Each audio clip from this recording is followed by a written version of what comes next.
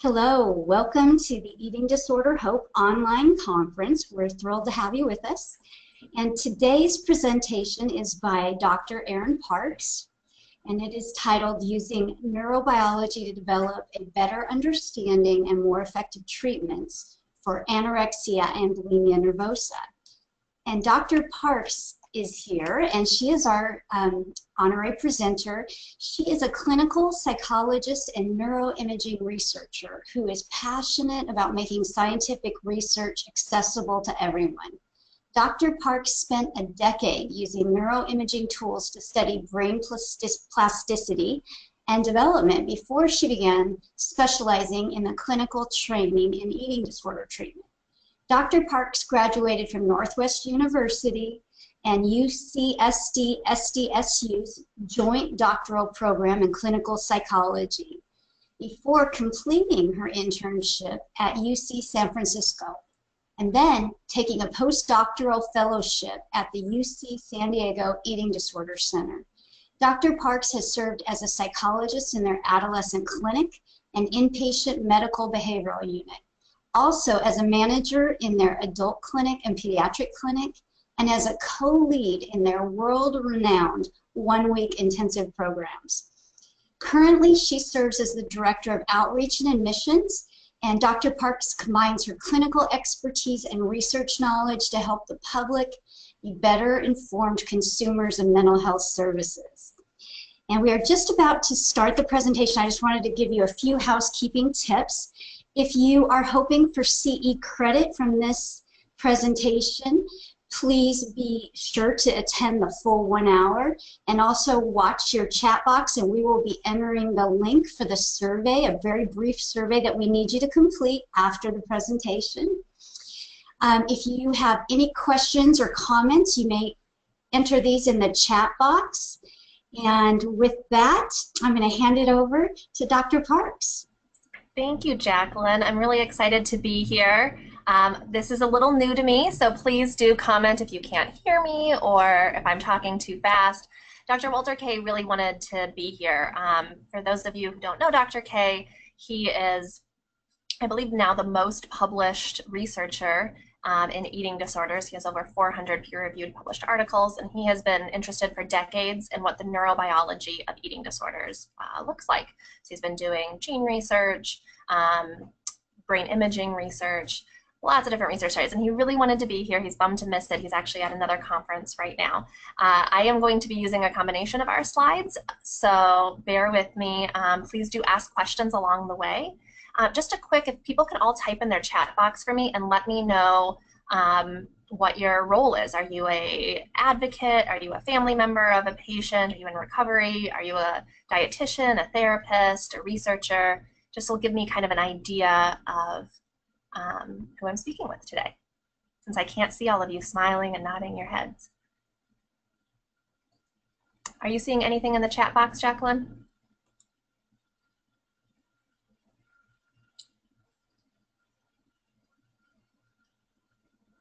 All right, well, um, I'm not sure if I can see your guys' chats.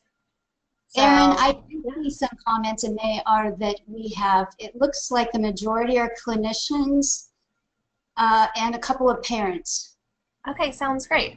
Um, and then, Jacqueline, if there are questions, feel free to interrupt me during it. It looks like you'll be able to see the questions. Let me know. Thank you. So, thank you. So I will dive right in. Um, a lot of research to cover in a short amount of time. Let me make sure I got the screen right. Um, so why are we talking about brains neurobiology and eating disorder? And one of the reasons is that there's really a limited effic um, efficacy of current treatments. There aren't a lot of proven treatments that really reverse the core symptoms of people with anorexia and bulimia. And we still lack a uh, mechanistic understanding of neurobiological contributions, and that's what we're trying to develop. So there are a lot of puzzling symptoms that occur in people with eating disorders and anorexia. Um, one is that it has to a fairly consistent onset in adolescence and puberty. Um, it involves, for anorexia, severe restricted eating and eventually emaciation. There are body image distortions and fear of being fat. Um, people who struggle with anorexia tend to be anxious, risk avoidant, perfectionistic, obsessive. We aren't in, um, they have a very narrow range of symptoms compared to other behavioral health disorders. Uh, some things that are fairly specific, like oversensitive to mistakes and loss. Um, we talk to people who got an A minus on a test, and it feels like the end of the world. Where there's other people who get an A minus and be proud of it or not think about it very much. They might also code things as mistakes that aren't in fact mistakes. Another thing that's different is there's a lot of people who struggle with eating disorders who either are not aware that they're ill um, or really resistant to the idea that they are ill. If you're depressed, a lot of people tend to want to stop being depressed. If you are struggling with schizophrenia, you want to stop having the symptoms of schizophrenia. Um, but for not all, but many people with eating disorders, they find the disorder to be egosyntonic, which means that there's part of the disorder that, that they relate to, that they aren't super eager to get rid of. Um, we also see relentless overexercise as a symptom, and there aren't any proven treatments that are reversing these core symptoms. We do have some treatments that help with weight restoration. We have some symptoms that help with body image, um, but some of these core symptoms, they end up staying the same throughout treatment. The other thing that's important to talk about is the course of this illness. So right now, only about 50 to 60% of people internationally, worldwide, um, have a full recovery from their eating disorder, and about 30% remain chronically ill, fluctuating between either partial recovery that they maintain forever or having full recovery and then relapse. And then finally, estimates vary from 5 to 10% of people with eating disorders die. This makes it have the highest mortality rate of any mental health illness. So the conventional notion of eating disorders is that they are psychosocial illnesses. And clearly eating and body image are important to most of us. Um, I also like to put up a picture of all of the diet books that were released in 2016. I did a Google, just diet books released in 2016, and there's about 100 diet books that were released. I'm like, how can we have that much to say about dieting that year after year, so many books come out about it? Um, but the truth is, our culture has an appetite, there's a pun, has an appetite for dieting. And they guess that maybe 85% of people in America will diet, and yet only about 1% develop an eating disorder. So, what else is going on? And we also have some proof that at least anorexia really predates the current culture. This is an excerpt um, from something written in 1689, uh, talking about a woman who neglected herself, not feeding herself for two full years, and everyone was surprised by it. And this was a time when being thin wasn't fashionable. There's also some accounts in the literature of people who would fast for their religion as a way to show respect to their religion or their God. And similar to maybe what we're seeing today with anorexia, that if being X weight is ideal, then being X minus three pounds is even more ideal, that they were taking that same concept but with fasting for religion. So if fasting for two days to honor your God is good, then fasting for three days is even better. Um, so there were different cultural things that have compelled people to reduce their eating, but the disorder has always been there. Um, so again, just if we, if it were just culture, if it were just society, if it were just parenting, we would see a higher incidence of the eating disorders. Um, but what we do want to know is, are there susceptibility factors that make some women more vulnerable to dieting and weight loss? So if most of the country will diet, what is it about people who develop eating disorders that when they start a diet, it turns into an eating disorder? So over the last couple of decades, um, there have been several new studies. So first are family studies, and we see that eating disorders run in families. And if you have an eating disorder, you're more likely than someone who's never had an eating disorder to have a family member um, who has struggled with it. Now, that doesn't mean it has to be the same eating disorder. So you may have anorexia, but your aunt will struggle with bulimia, and you may even have a family member who struggles with binge eating disorder. But that doesn't answer the question if it's learned or if it's like genetic or heritable. So there is a way to tease that apart, and that is with identical versus non-identical twin studies. Uh, this is very complicated research that figures out what the risk, the heritable risk of a symptom or an illness is. Um, and through several different research studies, they've concluded that there's approximately a 50 to 80% heritable risk. That is a very, very powerful uh, genetic contribution to eating disorders. That being said, it's not like we're finding individual genes that are passed from parent to offspring that are the anorexia gene or the bulimia gene. Rather, what we're seeing is that there are genes that may be related to premorbid behaviors. Um, what I mean by that is like temperament traits. And so you will have a parent with a certain temperament trait, and that is actually encoded in their brain, and that gets passed down to their offspring. The most powerful takeaway, or I'm sorry, the most important takeaway is that there's powerful neurobiology that's contributing to the risk for eating disorders. So this is a look at the childhood premorbid traits. Uh, so long before someone develops an eating disorder, when we ask both them and their family members if they exhibited any of these traits, um, they said that they did long before the eating disorder came. So one is harm avoidant. So these are not risk pe people who struggle with anorexia and to some extent people who struggle with bulimia. Um, even before they got ill, they were people who were not risk takers. Um, they were very sensitive to this is reward sensitivity. You notice that that is not significant, but what they are sensitive to is consequences.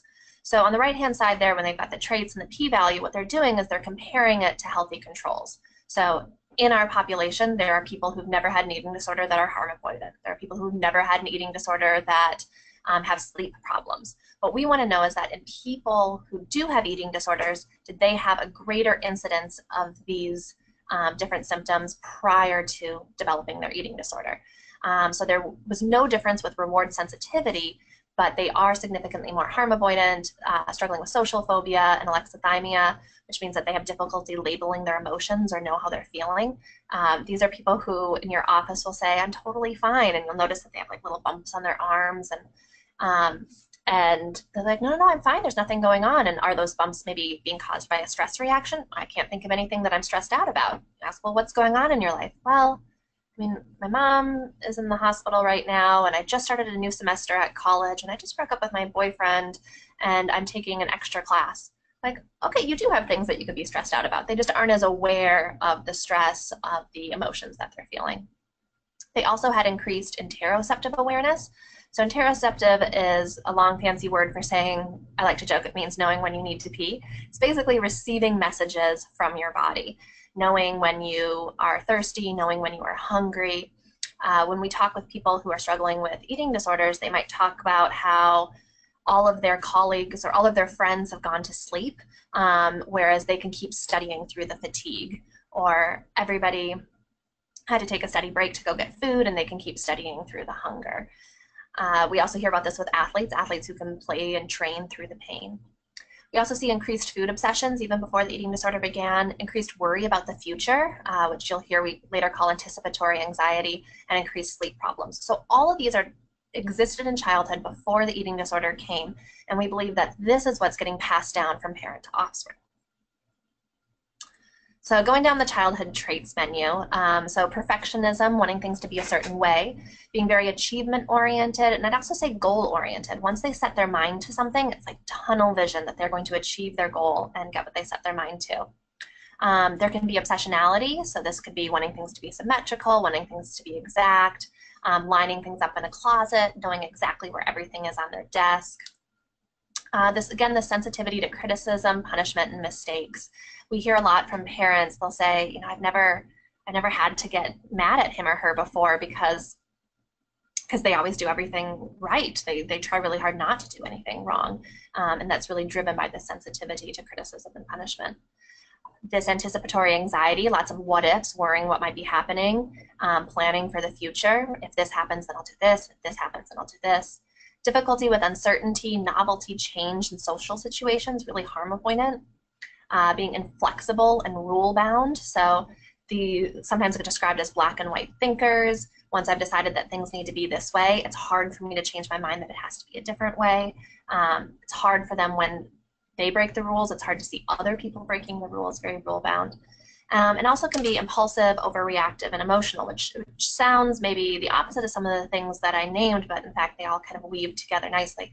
Now, there is not anyone that has 100% of these symptoms, and it's certainly possible that there could be some people who struggle with an eating disorder that have none of these symptoms. But what the research has found is that a lot of people with eating disorders have a lot of these symptoms, and that a lot of these uh, also existed in their parents.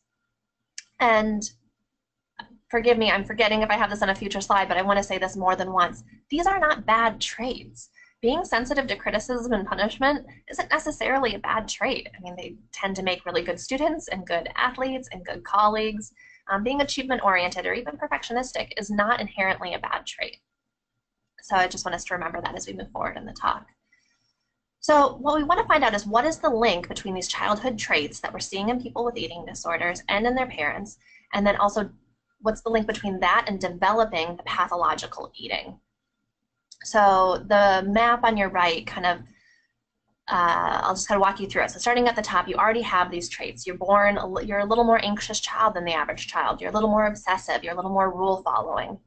And then puberty happens, and we think that there's something about puberty that's flipping this switch. Um, another clue that one clue is that we're seeing a lot of onset around puberty, but another clue that there might be a hormonal switch is there are a few people, not a few, there are people that spontaneously remit when they're going through menopause. Another suggestion that there might be some sort of hormonal switch that's turning something on and off. So while going through puberty, we got um, hormonal changes, the stress that comes with going through puberty, some cultural, obvious cultural factors, but also brain development changes. And so you mix that up with those pre-existing traits and you see an increase in dysphoria and anxiety. That leads to dieting. Um, and if you already are susceptible to being perfectionistic and obsessive and rule bound, um, this additional success at dieting, success I'm going to put in quote marks, um, and finding that dieting actually decreases those negative emotions of dysphoria and anxiety. And you have weight loss, and it just kind of circles back and forth, around and around in a vicious cycle. So let me make one other point here. It is very difficult for most people to starve themselves and lose weight. So on the left-hand side is a fairly typical dietary study that they did in obese women. And the study compared behavioral therapy to diet alone to a combination of behavioral therapy and diet. And you'll see that the the combined therapy is that green line, and that resulted at the end of treatment in the most weight loss. So everyone in the study lost weight. But when you look at the one-year follow-up, everyone started gaining the weight back in that first year. And at five year follow up, everyone was back to where they started and really averaging a little bit higher than where they started. Uh, what you see is that recidivism rates in obesity is very high, and it really echoes what all of us know that diets don't really work. But if you look at the graph on the right, we're seeing what weight loss looks like in people with anorexia. And so what's different about people in anorexia is that this is a, a group of people that can eat relatively small amounts of food every day for many years and basically starve themselves to death. So there are powerful homeostatic mechanisms in the brain that make it very difficult for most people to not eat. So just like if you tried right now to hold your breath until you died, you wouldn't be able to do that. Your body will just override whatever your cognition is trying to make you do, and you will take a breath and you will live. Um, if you intentionally deprive yourself of water, you will develop a very powerful thirst and you will get compelled towards water. Um, so there's similar kinds of mechanisms for food that kick in and drive eating behavior. This is why people who talk about doing crash diets, severely limiting their calories, end up then breaking their diet and having a binge. So the question we've been really curious about is why in people with anorexia, why don't these homeostatic mechanisms kick in and drive eating behavior? So what is different about eating behaviors and eating disorders? Okay, so think about what it's like when you get hungry. In my family, we call it hungry grumpy or hangry. Usually when you get hungry, it causes most people to get a little bit grumpy and irritable. And they get pleasure or reward when they're eating. And if you get hungry enough, food becomes even more pleasurable and rewarding. I'm not sure if any of you have ever gone grocery shopping when you're hungry, um, but it reduces inhibition. Just the act of being hungry makes you more likely to take risks, to gamble, to do drugs, and to buy extra things at the grocery store that you wouldn't normally buy because rewards are extra rewarding when you are hungry. But that's not what we're seeing in anorexia. Um, we see the opposite, in fact, that being hungry actually reduces their anxiety. I sometimes think about it like similar to before you give a big talk. You know that you're going to be giving a talk for 400 people and you're about to go on stage and someone hands you a pastry. You might be like, uh, not right now, I'll have it when I'm done. Because before you give a talk, your stomach is kind of in knots, and actually not eating might relax your stomach a little bit. Uh, so that's a very slight comparison. I know that anorexia is on a much bigger scale than that.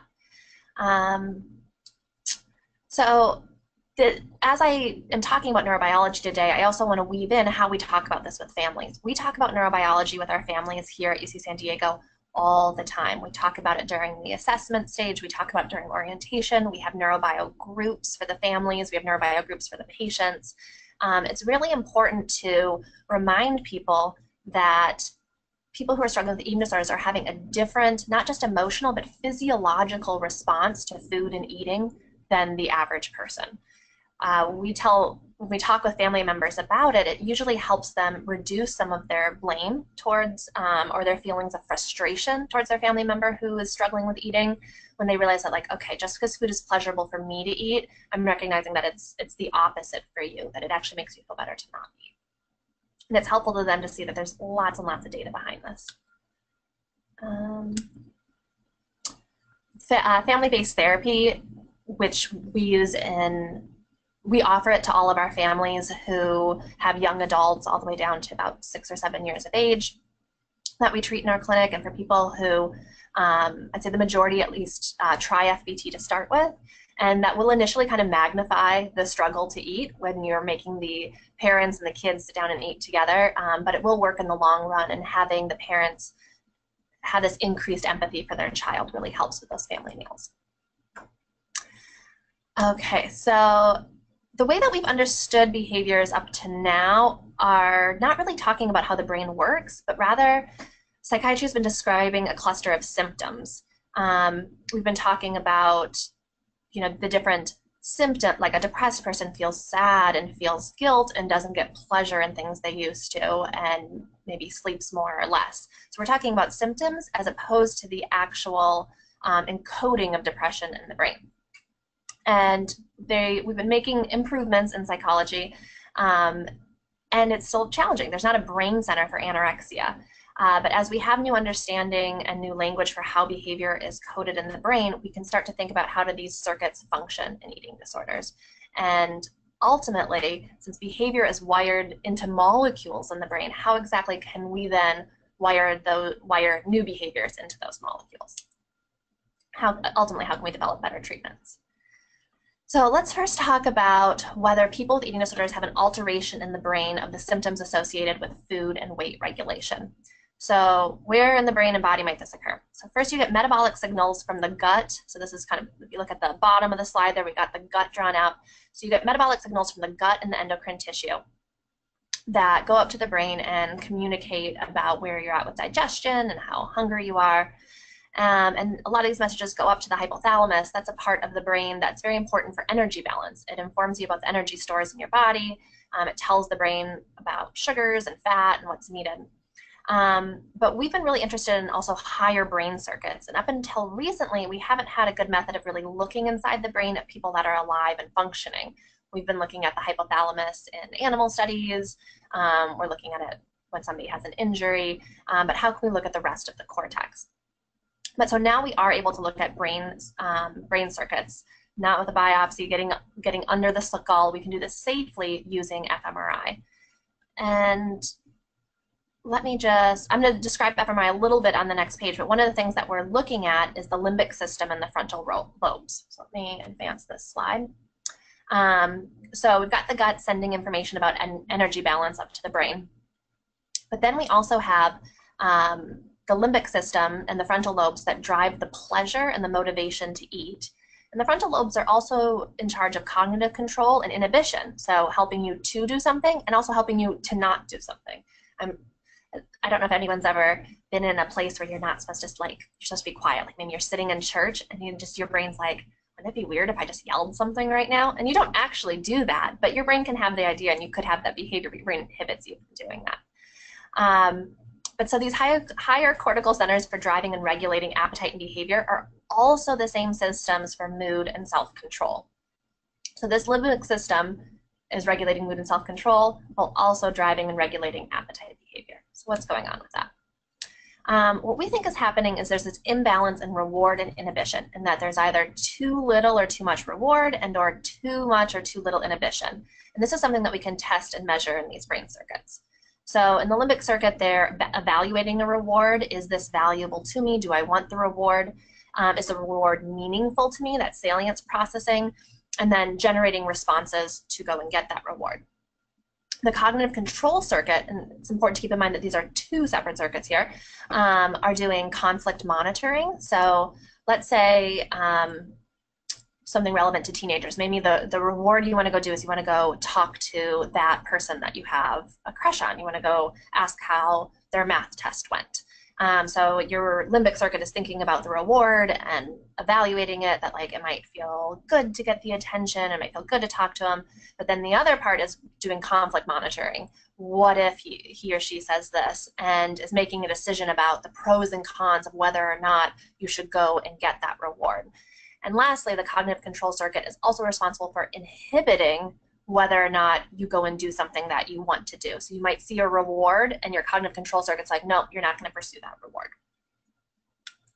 An example for me, my um, children woke me up at 3.30 in the morning, and so my limbic circuit, my reward valuation, was thinking about the reward of staying in bed, but my cognitive control circuit inhibited that desire to get the reward of staying in bed a couple extra hours so that I made sure that I was at work at time so I could give this talk to you guys. So is pathological eating related to altered modulation of reward and inhibition in anorexia? The things that appeal to those teens, just to be kind of trite, food, sex, drugs, rock and roll, um, but also material things, they seem to appeal less to people with anorexia. And many of you can relate to this. Um, for the parents in the audience, I've had several parents say things to me like, I offered my child a car if they would just recover from, if they just gain 15 pounds and they're 17. What 17 year old doesn't want a car? And we hear a lot of that, that rewards just aren't salient to people who are struggling with eating disorders. And I, I, was even talking with someone last night who was saying that they were trying to come up with a Hanukkah present for their um, son who was struggling. And they said that his brother and his sister had come up with these long list of Hanukkah presents, and he can't think of a single thing that he wants. So rewards are just not as salient. And we're seeing this also when we test this. So in addition to seeing that they underconsume food, drugs, and money, that they don't have reward sensitivity, we also ask them things like, you could have $10 today, or I can mail you $12 in a year. Now, almost everybody would take the $10 now, but people who have a um, altered functioning in their limbic system where rewards aren't as salient will actually choose the delayed gratification of $12 six months from now or $12 in a year. And when we do imaging studies, we see this under response to receiving rewards and an over response to uh, anticipation of what might happen next. And the inhibition and anxiety circuit, we see this high punishment sensitivity, being very harm avoidant and very concerned with the consequences. We have a gambling study that we do in the scanner where we give people $20 and we ask them to try and win as much money as they possibly can while they're in the scanner. So a scanner, it's like imagine a long tube and you're laying down in it. We're able to take pictures of the brain while you're doing different tasks. So they can kind of have, uh, think like a video game controller while they're lying in there. And most people will try to win as much money as possible. And when they do win money, every time their, their bank amount goes up on the screen, they can see themselves gambling and winning money um, their reward center gets excited. What we're actually seeing is the opposite, that the idea of losing that initial $20 um, is very scary. That's where we're seeing all of the activation, that they're very afraid of the consequence more than they are uh, moved by the reward. So hunger normally enhances the value of food and it motivates us to eat. So since we're talking about the reward system, let's talk about how food is rewarding.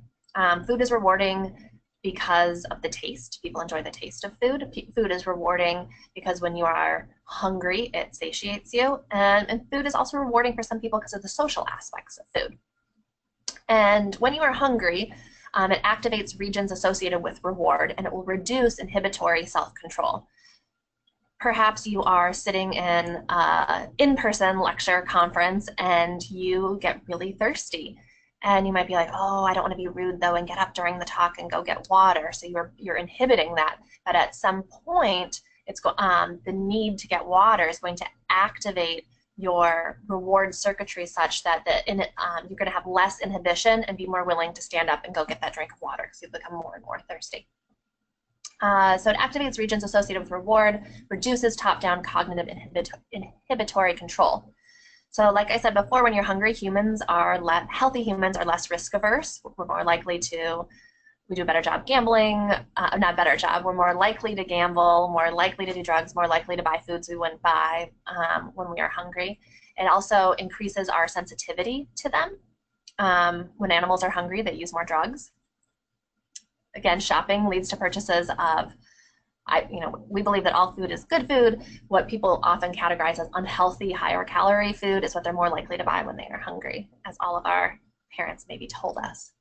Um, so what we're wondering is, do people who struggle with anorexia have an abnormal response to hunger? So this is the neural pathway that transmits taste signals into valuation of food and motivation to eat. So non we first were studying this through non-human primates, and they showed that signals are transmitted from the sweet taste receptors in the tongue. So you have sugar, they bind with the sweet receptor, um, they, they fit into it in your tongue, and then that sends a message to the brainstem and the thalamus, um, and to the gustatory cortex and the insula. So the insula will then integrate that information with motivation and homeostatic drives um, to guide motivated behavior. So maybe to eat more of that. Um, the anterior insula is interconnected with the amygdala, which is important in extracting salience of specific food, tastes, and textures. So both the amygdala and the anterior insula project along the ventromedial axis of the striatum in a converging fashion to mediate and regulate the consumption of palatable food. Um, this is all to say that you have multiple areas of your brain working together in conjunction to be motivated to have food, to go and consume the food. Um, the orbital frontal cortex also encodes the subjective value of food reward. These are the cognitions or the thoughts that you put to it. And this entire circuit is really interconnected and it transforms taste signals, the taste of sugar, into the valuation of food. That is good and the motivational to eat. I'm going to eat more of that when hungry. I'm sorry, I should have been clicking this while I was talking so you knew about the different areas that I was talking about while I went. I forgot that I activated that slide. Okay, so fMRI. Um, so we did exactly that. What we what we described. We wanted to know is food tasting different to people with eating disorders? Is like at what point in that circuitry that I just described are we seeing a breakdown? Is all of it not working or just some of it? Um, so really quickly with fMRI, this is a non-invasive way to look inside the brain. So people lie in the scanner and it uses a magnet to um, look at what's going on. And what it does so think about it like if you're lifting weights and you're using certain muscles, the muscles that are working the hardest are going to be um, using up oxygen and glucose. Um, they're going to be, they need energy in order to function, they're going to consume more energy. And we believe the same is true in the brain. So the part of the brain that you're using for a specific task, we would expect to see increased blood flow to that area of the brain. And then also that the oxygen would be taken out of that blood um, in order to energize or fuel that part of the brain that's being used for a task. So what the word that you hear is that we're looking at the ratio of hemoglobin to deoxygenated hemoglobin to deoxygenated hemoglobin. So that's what happens. So that's why we're able to lay people in the scanner, have them do a bunch of things, and then see how what areas of the brain are using more energy. So in this study here, we had people have a taste of sugar water. So while they're lying in the scanner, they had a straw. And the sugar water, in my opinion, kind of tastes like watered down Kool-Aid. So this isn't like the best tasting sugar water, but it's definitely sugar water. And we measured activity. And this study has been replicated numerous times at different institutes um, and different scanners with different subjects. And we keep getting the same result again and again and again. Um, and that is that people who have recovered from anorexia had less activation in their insula, caudate, and putamen, aka this reward center we were talking about, um, for sugar or water compared to the people who had never struggled with an eating disorder. And this study has been done a couple different ways. Um, we would have them have a small breakfast before they did the fMRI study. We've also done things where they have like a larger breakfast. We've had fasting where they, I think, couldn't eat after 6 p.m. at night and we scanned them the next morning. Um, for healthy controls, when you've had 16 hours of not eating, you get really excited when you get the sugar water because your reward center um, is is really propelling you, motivating you to go for the reward of, of food and um, to satiate that hunger. Uh, but again, even in the recovered ANs, even after a period of fasting, um, we still saw reduced activation in the insula caudate So there's something about the reward or approach of food that's altered in people, even when you've been recovered from anorexia. And some people in our study think have been recovered 10 or 15 years. So this could explain why they are able to eat a very small amount. It's because food isn't rewarding. So remember when we looked back in those obesity studies, it was incredibly hard to sustain a diet for a long amount of time. But that's because they had the typical reward circuitry where food is still rewarding even if they're depriving themselves of that reward. And remember, the hungrier and hungrier you get, the more and more rewarding food is. So the next question is, can they taste sweetness and know that they are hungry? And turns out, yes, they can. They can taste the sweetness. They do have sweetness receptors. It binds. They can tell the difference between different types of taste. We check out like bitter versus sweet versus salty. So that first part of the circuitry is working. Um, they, we talked about before about how they are not bothered by hunger cues, um, but research is suggesting that they do know when they're hungry. It just doesn't produce negative consequences for them as it does in more of a typically wired person. Um, so the problem is not with tasting the sweetness or knowing you're hungry. The problem is with the signal not being translated into leading mo motivation to carry out pursuit of a reward. So part of the circuit's working okay, and part of it seems to not be working as well. So how is this related to premeal anxiety? Um, so we got a couple different things going on here. So we were looking at how people, I'm sorry, this kind of, I'm confused where I, would, where I put this graph, where I put the graph. Um, okay, so if you look on the far right graph, we're looking what anxiety looks like over time. So it's, you'll see on the bottom, each little mark is 15 minutes, um, and that people have increased anxiety before a meal, whereas most people, when they're hungry, have reduced anxiety because they're excited about going to eat the meal because it's because it is rewarding. Okay. Um, oh, the next thing I want to talk about is going on what's going on with dopamine level, dopamine levels. So in this, um, what we are seeing here, sorry, taking me a moment. So in the striatum circuit, um, let me get this up. So in the fMRI, there was a response to winning or losing money, as I described described before and that people with anorexia had increased anxiety and were concerned with not losing the money.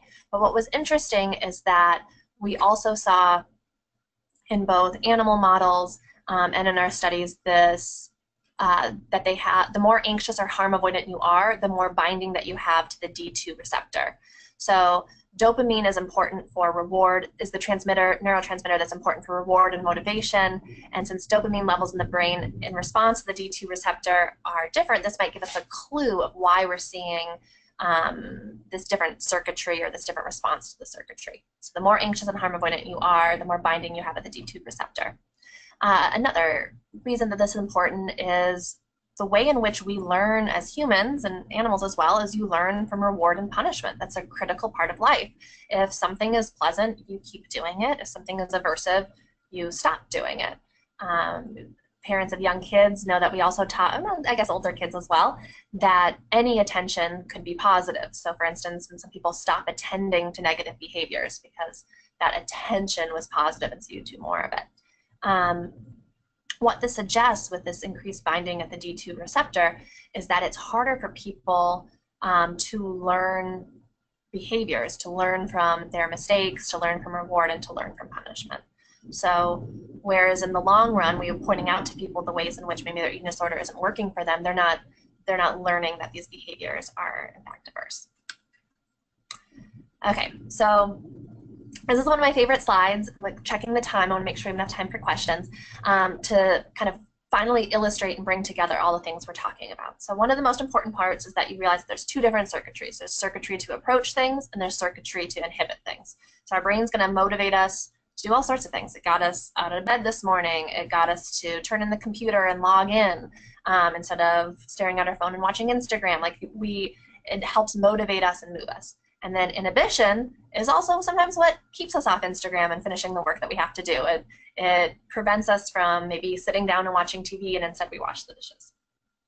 Um, so we tend to think of reward as an on and off phenomenon, and just it's good to remember that it's more complicated than that, that they're actually opposing circuits that activate and inhibit responses to reward.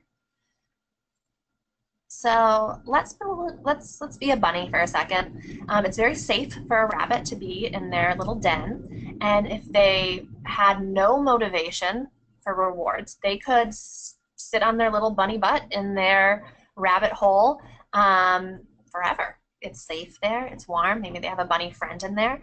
But eventually, that rabbit's going to get hungry, and that hunger, that message from the gut, is going to activate the reward center and motivate them to go and seek food. Now, if while they're out looking for food, they run into a fox, they shouldn't be like, hey, fox, you know, my motivation center is firing, my reward center is firing, I'm going to keep with my behavior to go get the carrot. No, that reward center is going to stop, and their inhibition circuitry is going to start firing, and they're going to run away from the fox.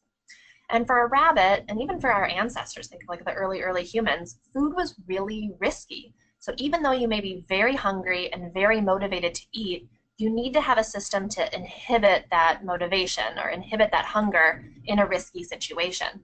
Um, the rabbits do that really well. They, if, if, rabbits do a good job of staying in the hole when the fox is out, um, they stay alive and they pass their genes on to their offspring. Uh, Dr. Kaye likes to remind us that nature doesn't care if you're happy, nature just wants to see your genes get passed down.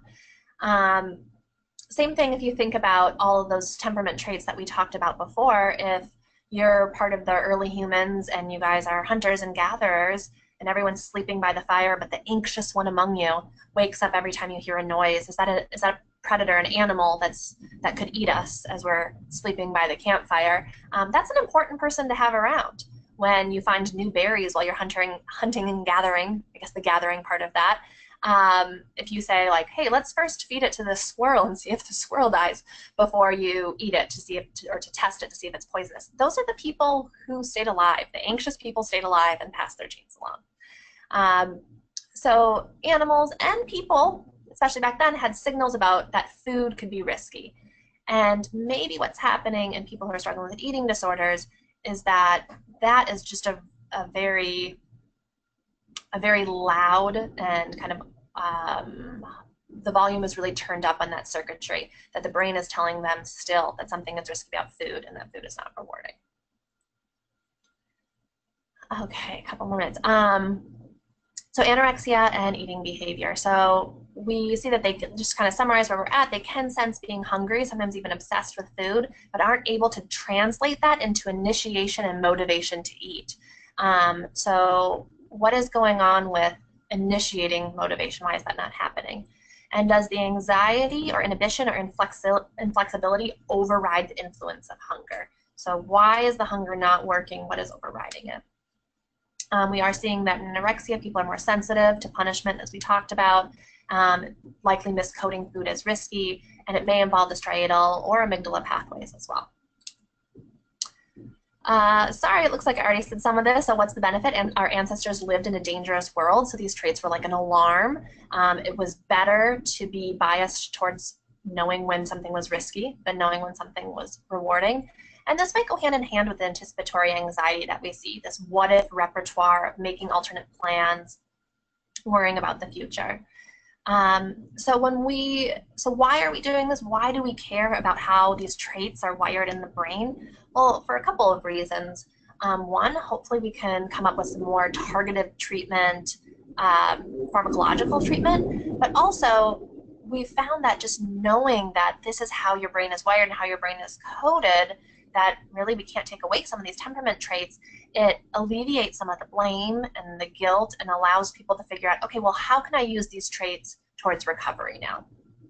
And remember, these are really a lot, these are really great traits. It gives people who recover a competitive advantage in lots of different professions. Um, we talked about the high error detection rate. That is great for research. That's great for a tax accountant. Um, we talked about how they have a high attention to detail. Um, that's great for all sorts of professions, for being a student, but I also think friends who have a high attention to detail give the best gifts. I mean, these are really good traits. And in our experience, you know, we have hundreds of people with us a year, and really people with eating disorders are some of just the most incredible people. Um, they do go on to do wonderful things with these traits that they have, this drive that they have, and what we hope to do is take, you kind of think of it like a, um, a lighthouse beam. And if you have all of these traits focused on your body, so if you have a high attention to detail, but you're looking at your body, and a high error detection rate, and you're looking for every error in your body, and you're achievement oriented, but what you're trying to achieve is a certain number on a scale, you can see how all these traits are they're use, being used for for bad, for evil, for non-productive things. Um, so they're being used destructively. That's what I was looking for. So since these traits don't go away, how can we help people to use them constructively towards their relationships, careers, professions, etc. Um, so trait treatment strategies. So one trait treatment strategy goes along with uh, family-based therapy, also called the Maudsley method. Um, within it, we give a lot of psychoeducation to the parents and the patient about the neurobiology of eating disorders, helping them understand that eating is difficult. We make a lot of comparisons with the cancer metaphor. So, for instance, if your child was getting treatment for cancer, chemotherapy, that hurts, stinks, um, you wouldn't sit and say to them, just do it. You'd like rub their back and try to distract them. Um, same is true with an eating disorder. Eating is really hard, as we've just kind of covered in the previous 30 slides. Um, so what we would treat the we help the parents to treat the children the same way you treat anything else that's really hard. Like how can i help you? How can i distract you from the parts of this that are hard so you can get through it? And in life all of us do things that we don't want to do. Um, so we spend less time focused on want, helping them to want to eat and more helping them on how can you do it and be successful with it. Um, because all the research suggests that like maybe especially during early recovery your that drive is that motivation to eat is not going to be there. So there's no use spending hours and hours and hours talking about how to get someone to want to eat rather how can you do something that is hard that you don't want to do uh, we can modify the environment and interactions so since we know that there's a very high anticipatory anxiety we remove that. Um, we know that there's difficulty set shifting, so uh, we shift set for them. Um, we have a very, very structured environment and encourage people in their homes to set up a very structured environment. We always have dinner at this time. We always have lunch at this time. Uh, this is exactly what you're eating for dinner, and you're going to eat 100% of it. Um, and while at first it's like, whoa, that sounds so much worse. I want to, I want to have some say or control over it. In fact, what most patients tell us and tell us pretty quickly is that their anxiety starts going down because they don't have to play the what if game. They already know exactly what's going to happen. Not like, oh, well, my mom asked me to eat this later. Well, my dad asked me to eat this later. Are we going to have a fight about whether or not I can sub this for this? They have just a very, um, they're very well defined, structured environment. Um, medication is another thing that we've found that works to help with some of the traits um, or to mediate them. Okay, let's see here. I think we're kind of nearing the 10 minute left mark. So before I go into more slides, which I have, I want to see if there are any questions, and then I can also tailor the remainder of the talk towards those questions. Thanks, Erin. It's been fascinating, and we do have a few questions. Um, the first was, what are your views on medication incorporated in treatment? Um, what are my views on medications incorporated in treatment? Um, I would, I, to, if you want one word, it's positive. Uh, not everybody who comes to our center ends up taking medication, um, but I really liken it to, I talked about this with a patient recently. Um, if you broke your arm, technically, if you were really, really, really, really, really careful, you could hold your arm perfectly steady for eight weeks while your bone reset. You don't need to have a cast, you don't need to have a sling, but it sure would make it helpful. And then even after your bone was done resetting, physical therapy is going to help it heal even more. That's kind of how I feel about medication is that if it can um, reduce the anxiety a little bit such that you can use your skills. Um, if it can help you access learning. So a big part of therapy is not just getting through it, it's rather learning lots and lots of skills. Uh, DBT is our foundation here, dialectic behavioral therapy. Um, and people probably walk away we probably teach 40 or 50 skills. There's a lot of skills that get taught. No way do all those skills work for everyone. We want everyone to find like six or seven to really fill their toolbox with. And in order to develop skills and learn them and get good at them and practice and practice and practice, you have to be able to learn. So if we can give any medications that help improve um, learning, by maybe reducing the anxiety, then I think it's a good thing too. Um, there are there's a lot of stigma with taking um, medications for mental illness, which I really hope we start thinking of as brain illness, but really not that stigma for taking it for diabetes or heart disease. Um, so your brain is a part of the body just like your heart is and your liver is. And so my hope is the more and more we start thinking about mental illness as brain illness, we're going to see um, some of the barriers to people trying out medications change. Interesting, thank you. Uh, another question is, has the sugar water study or anything like it with the reward center been done with BED or bulimia? And it says, I'm curious whether eating is experienced as more rewarding than typical. That is a really great question. Um, and also I want to acknowledge how anorexia heavy the first part of this talk was. I apologize for that. Um, so first, yes. And second, one of the things we found is that food is less rewarding for people who are struggling with binging. Um, and it could even be that like you continue to pursue the food hoping it would become rewarding, uh, but we see that um, that the food isn't necessarily more rewarding.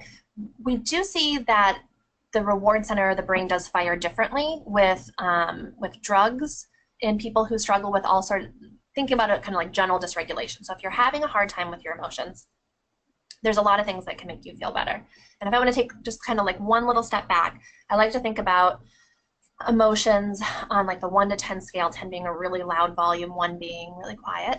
And we all have the same emotions, um, but the volume with which we hear it varies, and the length at which it stays at that volume varies. So I like to think that like, oh, like kids laughing is a pleasant sound, uh, except for when it's like super loud and lasts for two hours, right? So any emotion can be pleasant or unpleasant in this, this situation.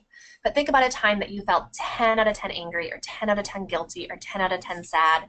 Um, when I'm at a 10 out of 10, I'm not functioning. So like if I'm angry at family member, my husband, let's say, for an example, if I'm 7 out of 10 angry at him, I can still go to a meeting. Like, I can sit and talk to Dr. Kaye. I'll be fine. If I'm like 9 out of 10, I'm not functioning very well, right? And so if you get stuck at a 9 out of 10 or a 10 out of 10 for a really long time, and that's what we're hearing with people with anorexia, but also in bulimia and binge eating disorder, you will do anything to escape that. Um, so binging and purging drops people pretty quickly down to like a zero or one. Cutting, self-harming, drops people really quickly to a zero or one. Substance use, tantrums, there's lots of different things that you can do that work temporarily. So what we're thinking might be happening with bulimia and the binge eating disorder, um, and you know we'd love to maybe in the future do a whole nother talk really just focused on the neurobiology of binging, and we still have a lot more to learn. Um, is that it might be a drive to reduce the emotions more than a drive for the reward of the food. that makes sense. That is absolutely fascinating. So that emotional hijacking we sometimes see with clients is really defined by what you were saying. Another question, I am dealing with a client that lives alone and has little to no support system.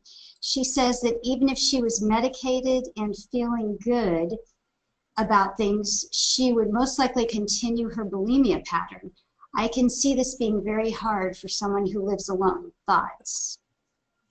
Yes, that sounds incredibly hard. Um, there's a lot of things that are hard about living alone and being isolated, even if you don't have an eating disorder.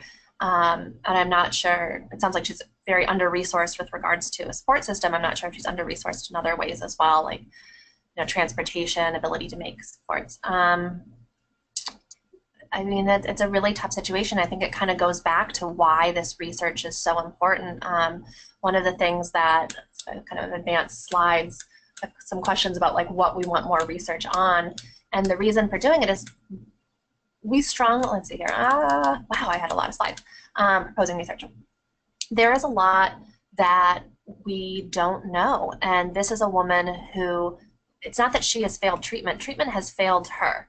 And I strong, we all here at San Diego strongly believe that about the 30% of people who have a chronic course, the 10% of people who die. Um, it really bothers us when people say things like, well, they're not motivated for treatment or they weren't able to engage with treatment. Um, well, no, the treatment has, has failed them um, and we would see better recovery numbers if we'd had better treatment. So this is why we really want to figure out the neurobiology of what's going on. So for your client there, you know, perhaps um, the reward circuitry is so under firing, underdeveloped. Um, that, and then also you have to think about time, right? So we learn things. I like to think about it. I'm from Minnesota, so I like to think about it with snow, but you could do the same thing with grass. You know how people are walking on sidewalks and then they cut the corner, and then after a while, like a path gets worn in the grass where it's just dirt. Well, that's exactly what's happening in your brain. So when you associate food with fear, or you associate leaving your house with being embarrassed, and then you do it again and again and again and again and again, you're just really you're really laying down the foundation. You're really creating a new wiring in your brain that reinforces the wiring that you're already born with. Um, so it can be an uphill battle for a lot of these patients, especially if they've been ill for a long period of time. Um, so I'm wondering with her that it's not just food that's not rewarding, um, but going out and socializing, being around people, uh, is something that she has a really hard time with.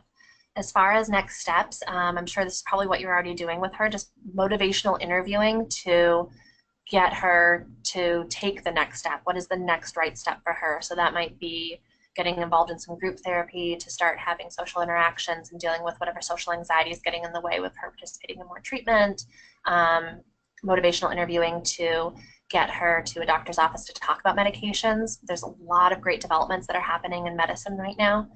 Uh, one thing that I do want to mention, and I might not find the slide, but I'll just keep going forward with it. Um, is here we go clear rules and ex um, so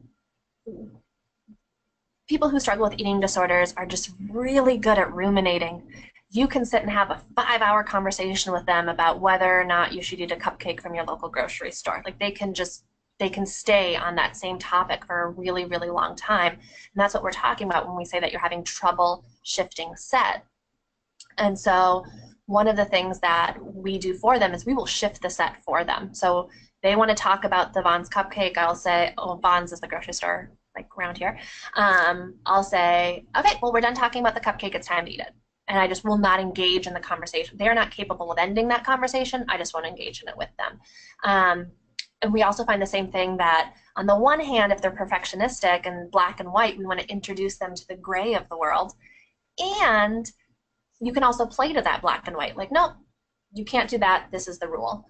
Um, so I'm not sure if that's true of your client, but we have found that really, really direct, strong rules and boundaries. Like, I really enjoy talking to you weekly, and I'm not going to talk to you again until it is at the you know admissions office of this center. I'll be there, and that is the next time we can talk, or something like that. So, kind of using their difficulty with shifting set to just shift set for them, to move them forward. We call it, um, looking for the slide, we call it pushing the needle, moving the needle for them so that they can advance the needle. Thank you, Erin. This is just absolutely fascinating. I know there are so many more questions that we will be forwarding to you after this. Um, it, just to wrap up the presentation, I want to remind everyone to please go into the chat box and click on that link if they if you are desiring CE credits, you had to have been here for attendance for the majority of the hour and completing that survey, and we will get that certificate to you at Eating Disorder Hope. And then um, there are a few handouts. Uh, Dr. Parks has graciously provided a PDF of this presentation, and there's also some other materials there. And we have a few more minutes, Dr. Parks, if you just want to go over any remaining details that you think would be really helpful for people to know. Yeah, I would love to show you guys this um, look at the variability in weight gain. So you guys might have all experienced this, that you have some patients who are trying uh, patients who are trying to restore weight and they're eating a lot and yet eating a lot. That's a judgmental term, but they're eating more than they ever have before and they're still not gaining weight. So just a couple quick things that we're finding out about biology. So first here is this is the variability in weight gain in response to overfeeding. So they took healthy sedentary volunteers and they had all of them eat an extra 1,000 calories per day. And if you look on the right hand side, the eighth week of eating an extra 1,000 calories a day, one person gained one kilogram in eight weeks from eating an extra 1,000 calories a day. And then someone else gained 7 kilograms, so you know, 15 pounds, by eating an extra 1,000 calories per day. That is a huge variability. And it's a good reminder to us that it's not as simple as like one calorie in, one calorie out, or X number of calories equals a pound. People are actually very variable in how many calories they need to gain a pound.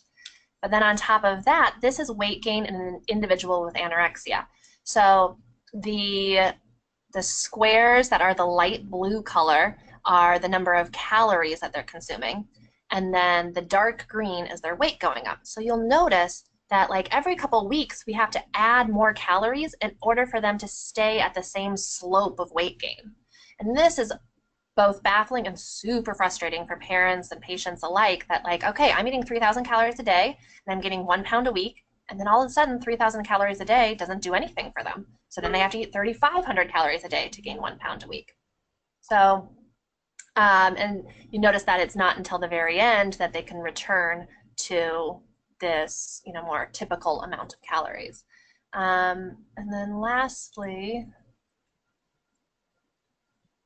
and so here's just a kind of a comparison of daily caloric requirements. So you can see that even after recovery, um, people need more calories per day to maintain their weight than a healthy control would. Um, and it isn't, you know, until a while after recovery that it starts getting more normal. So it's just kind of something to think about when and why we want to do more research with biology is so that we can give pa uh, patients and parents kind of an idea of what to expect and what's going on with their body. We do not know why people who struggle with eating disorders use calories inefficiently while they're recovering, um, but it's something that's good to remember and especially good for parents to hear that they are inefficient with the calories. So we have to make sure that the calories we're giving them are dense um, and that that the parents uh, and the patients are just kind of kind to themselves. It is hard to eat 4,000 calories a day if you don't have an eating disorder. It's especially hard if you mentally don't want to eat and physically don't want to eat. Thank you. This was excellent. Um, it, how can folks get in touch with you regarding research, treatment, um, or any if they are interested in having you as a speaker? Okay, yeah. So um, you can email me directly. My email address is e as in Erin and my last name Parks, P-A-R-K-S, at ucsd.edu, which is UC San Diego. Um, we have a lot of things going on at our center, so we are both a training program, a treatment program, and a research program, and all three of those work together synergistically.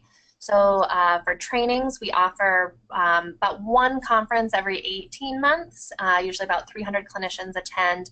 And then we do like three or four smaller workshops throughout the year. So like Dr. Ivan Eisler comes over from London um, and joins our team, or we've had Dr. Daniel Le Grange come down from San Francisco, uh, Laura Hill comes out from Ohio, and we do kind of more intimate, like 35 person workshops for specific aspects, specific treatments people want to learn. And that's usually like one to two days in length. Um, so that's our training program. Anyone local in San Diego, we do uh, free CE seminars every other Tuesday. And then our treatment program, we have a pediatric program for kids as young as six, um, a teen program, an adult program, and then because we are a, you know a large nonprofit university, we're able to kind of do it in a community college model. So at any given time, there's probably eight or nine groups happening here. So we're able to have a trauma track and a substance use track, and able to treat things at the same time. Because our ultimate goal is for people to go build a life worth living, and you can't do that if you're always in treatment. So we don't want them coming to treatment here for eating disorder, and then going somewhere else for trauma treatment, somewhere else for substance use treatment. You're going to spend your whole life in treatment. So we treat everything at the same time. Um, and then let's see here, I got oh, and then lastly research. So if you or any of the people you work with are interested in research, we do even have funds to fly people to San Diego uh, to do brain imaging studies um, and some of our other research. So you can go to our main webpage, which is, why am I blanking on it, eating disorders. This is how you can tell I've been talking for a long time. Um, eating disorders with an S dot ucsd.edu. And if you want to put your email address in the chat box, um, I can send you guys a note afterwards as well with this information. But you can go to our research page, and there's lots and lots of studies that are always going on for binge eating disorder, bulimia, anorexia, for people who are recovered, for people who are still sick, um, and everything in between. And I wanted to acknowledge the research team. So um, while I am a neuroimaging research by training initially. I have not participated in the neuroimaging research here at our center. Um, ever since I've been here, I've been doing other things. So this is our research team. Almost all of them are at the conference right now, and a lot of them are speaking at this conference right now. Um, I would have loved to have some of them with us, but it takes a really big team to do this kind of research, and it's really a collaborative effort, and just so grateful for all the people here. Wonderful. Well, we would love to have all of you back again and again for these. And I will get with you, Erin, on um, making sure that we have enough information up on research participants um, contacting you on Eating Disorder Hope so we can send some folks your way that are looking to participate in that research. Fantastic. Well, thank you so much. Thanks for having me, and congrats on your inaugural conference. This is really awesome. Thank you. We were honored to have you. Have a good evening. Bye-bye. You too. Bye.